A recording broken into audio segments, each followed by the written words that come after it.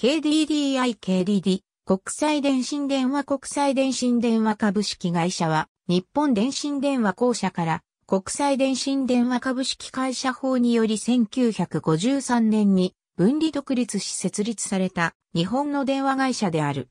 法規制により日本と海外との国際電気通信、国際電話を長らく独占的に扱っていた。事業者識別番号は001。略称は KDD、国際電電。国際電気通信連合のセクターメンバー。KDDI の前身会社の一つ。ただし KDDI は公式には旧第二電電株式会社が設立された1984年6月を会社設立年月としている。1985年3月までの日本の電気通信事業は公衆電気通信法の規定に基づき、国内は日本電信電話公社が、国際通信は特殊会社である国際電信電話株式会社がそれぞれ独占していた。第二次世界大戦後、占領政策を進めてきた GHQ は、国際通信設備の建設、保守を業務とする国策会社であった国際電気通信株式会社を解散させ、当該会社の保有する国際電信電話設備を低信省に移管して国内国際電気通信業務を所管させた。1949年には低信省を郵政省と電気通信省に分割し、国内国際電気通信業務を電気通信省に所管させた。国際電気通信株式会社が半官半民の会社として国際通信施設の拡充を行っていたという先例があることが指摘されていたが、電気通信大臣であった。佐藤栄作は電気通信省の管理者としては積極的な検討はしておらず、今日のところは国家的な使命を達成する意味において、公共企業体の程度には、ぜひとどめておきたいので、公共企業単移行への準備を進めていると述べ、1952年、電気通信省所管の国内国際電気通信業務は、広報上の特殊法人として設立された日本電信電話公社に移管した。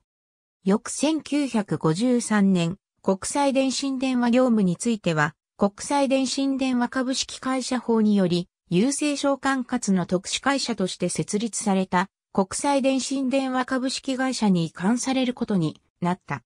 国際電信電話は元国際電気通信株式会社の無線施設部門、日本電信電話公社中央局の国際通信部門、及び電気通信省の国際通信部を核とする本社部門によって組織された。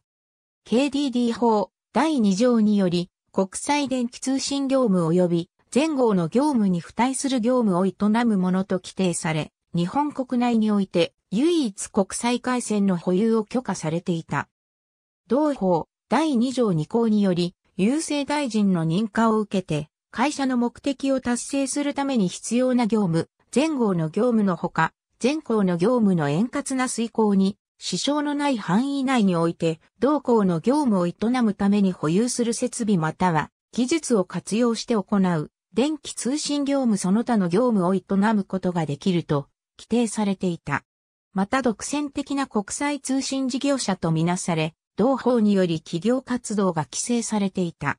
1985年電気通信事業法が施行された。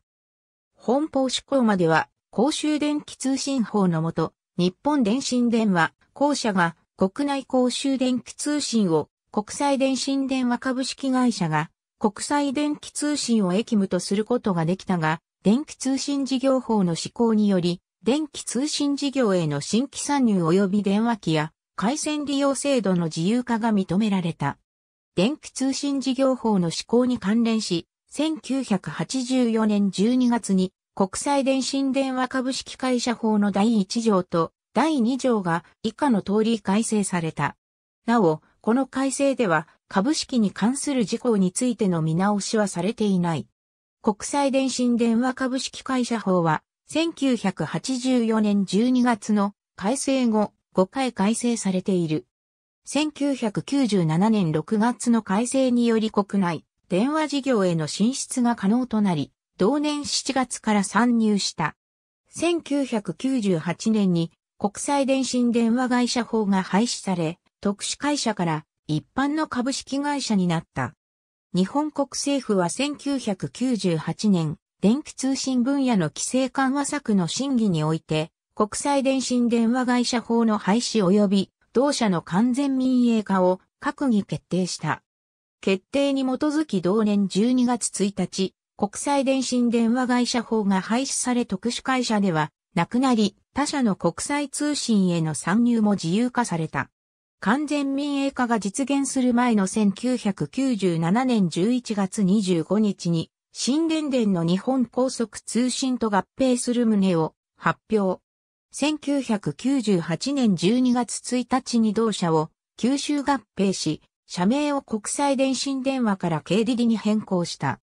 なお、電気通信事業法不足第5条により、KDDI が国際電電承継人とされ、この規定により東日本電信電話株式会社や西日本電信電話株式会社とともに電報事業にかかる業務の内受付及び配達の業務を行うことが認められている。現在は KDDI がその事業を承継し、KDDI エボルバが運営している。1957年から1960年代後半にかけて国際通信関連技術について紹介する短編映画を計4本企画している。以上4本とも東京シネマの手により制作されており、現在は科学映像館ウェブサイト内において無料公開されている。ありがとうございます。